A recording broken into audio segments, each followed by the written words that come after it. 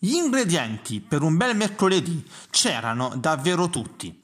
Un Paolo Borsellino pieno zeppo come un uovo, tifosi festanti, cantanti e alla fine pure festeggianti. Una squadra, quella nero-verde, il presente del calcio a 5 cittadino in rosa. L'altra, quella molfettese, il recente passato del futsal bitontino.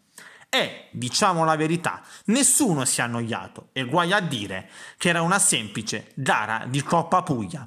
Perché Bitonto Molfetta è stato tanto, tutto di più. Alla fine, a godere, è stata la corazzata di mister Lorenzo Genchi, che ha rifilato all'avversario tre reti, una più bella dell'altra, e ha centrato l'ottavo successo in altrettante partite disputate da inizio stagione. La contesa, però, dicevamo, è stata davvero di un'altra categoria.